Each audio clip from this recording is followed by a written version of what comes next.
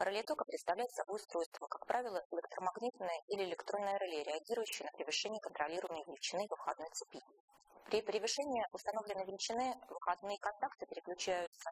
Этот сигнал используется для управления цепями сигнализации или устройствами силовой коммутации для отключения определенных нагрузок. При снижении тока ниже установленного значения реле тока возвращается в исходное состояние, и его входной сигнал обрабатывается цепями автоматики, управляющей силовыми цепями.